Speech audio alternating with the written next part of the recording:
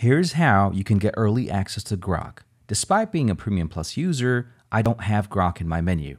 All I have to do is turn on the VPN and set the location to the United States. Once it connects, refresh the page, and immediately you should see access to Grok being available for you. You click on it, type in hello, and it seems to be working fine. Now, mind you, if you turn off the VPN, you'll lose access to Grok again because Grok access is based on geolocation. So we disconnect, refresh the page again, and Grok is gone.